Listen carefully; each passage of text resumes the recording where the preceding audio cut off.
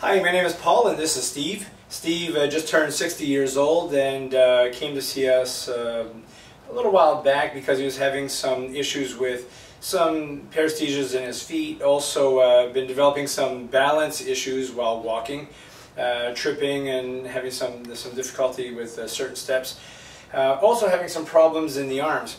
What I want to show you today are some of the physical findings and neurologic findings that um, we have in evaluating Steve. Uh, so first thing I want to show you are his reflexes. You can see we're a little hyperreflexive there.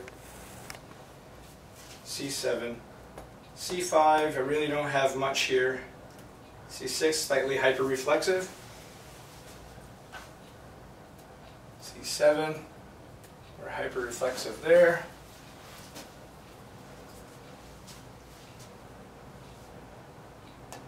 C5 we have a little reflex.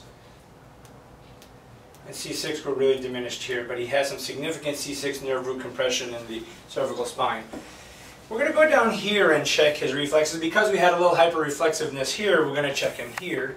And you can see we're quite hyperreflexive there also. So we see hyperreflexivity in both sides, so we're going to check to see if he has any clonus. And you can see right here that he continues to bounce. So that's kind of concerning to us because of the hyperreflexive reflexes and the clonus. So what I'm going to do now is a Hoffman's test to see if we have any upper motor neuron lesion or um, cord stenosis. So I'm going to just take the middle finger, hold it at the tip, and I'm going to flick it.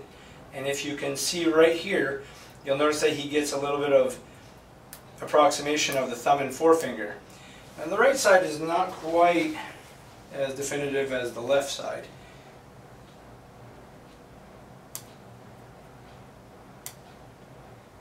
See how we have the fingers and thumb come together? There's also a bouncing to it.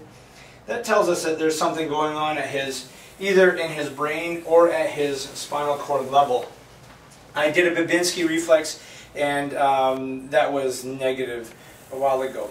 Um, so because of this, uh, he, uh, we sent him to a neurosurgeon and they're going to be releasing um, his cervical spine, taking some pressure off. He has some severe central cord stenosis, especially around the C6 area. They'll also be decompressing his uh, foramen and uh, doing a cervical spine fusion, uh, an anterior cervical spine fusion. Um, so significant increase in reflexes, a positive uh, Hoffman sign, and clonus really should um, have you drive your patient to, to see a, neurologist and neurosurgeon for uh, examination and uh, testing and surgery. Thanks.